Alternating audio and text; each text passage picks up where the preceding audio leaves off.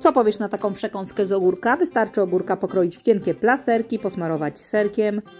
Na to łosoś, troszkę natki pietruszki, sól i pieprz. Zwijam tak jak widzicie na filmie.